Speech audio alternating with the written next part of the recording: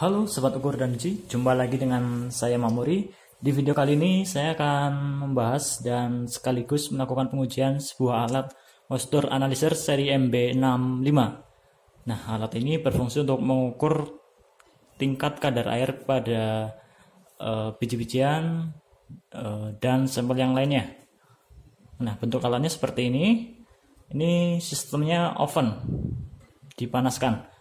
Nah, nanti untuk paketannya nanti dapat seperti ini ada mangkok, ada penyangganya dan kalibrasinya, blok kalibrasi. Oke.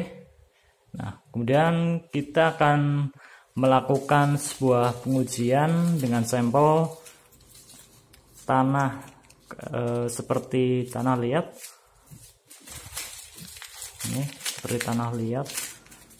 Oke. Nah, kita rakit dulu untuk aksesorisnya. Oke, yang pertama kita pasang ininya dulu. Kemudian kita pasang penyangganya.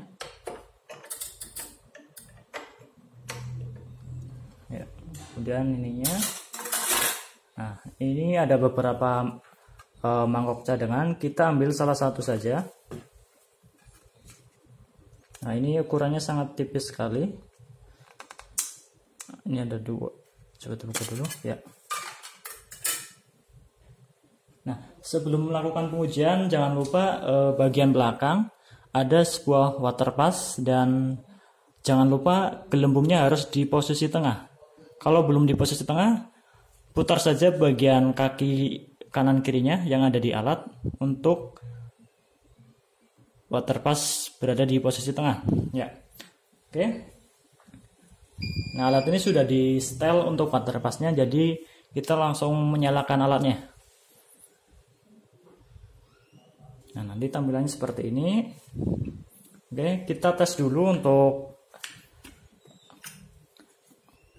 alatnya apakah berfungsi dengan normal. Nah, ini ada timbangan kalibrasi dengan nilai 100 gram.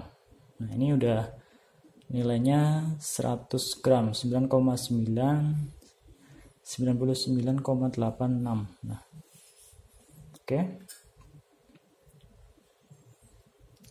Oke, kemudian kita Nah, saya akan jelaskan beberapa menu yang ada di sini. Nah, ini adalah sistem pemanasannya.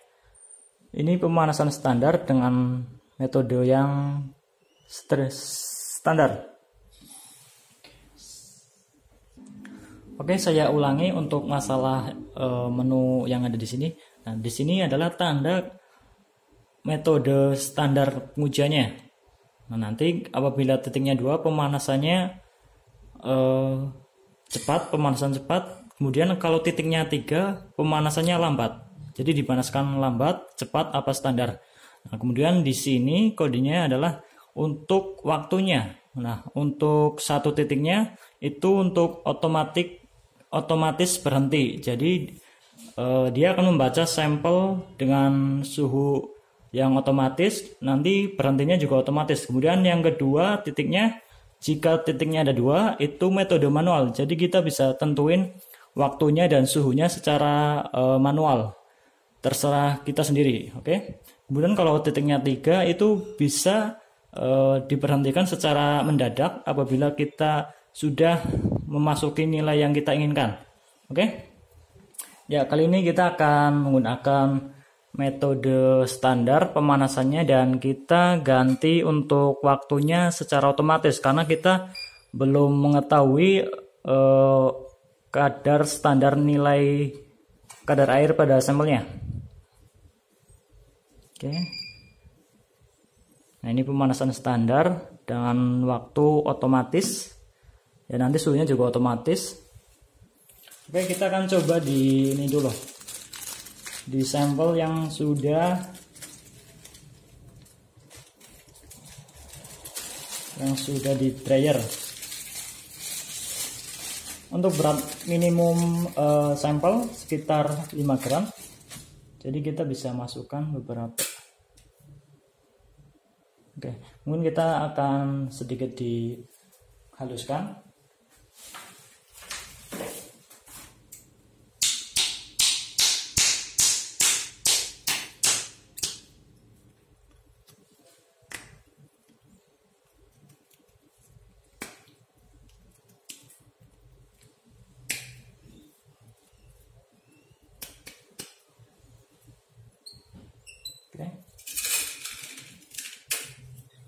kita haluskan seperti ini agar pemanasannya merata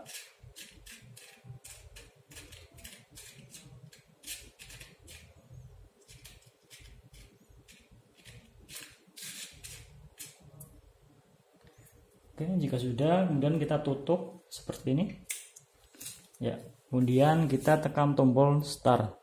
Nanti e, berat awalnya 13,340 gram. Oke, kita start. Nah, ini memulai e, pemanasannya. Nah, nanti untuk nilai kadar air berada di sini. Dan ini waktunya, nanti ini suhunya di sini. Dan ini adalah tanda waktu pemanasan.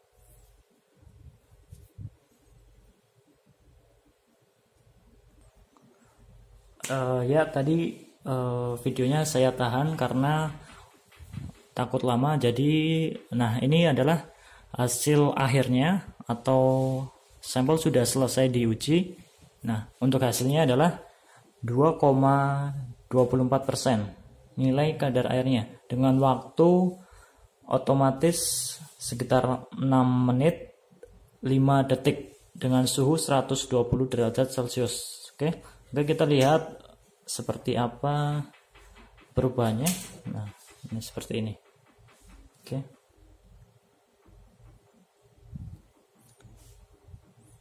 Nilainya 2,24 persen.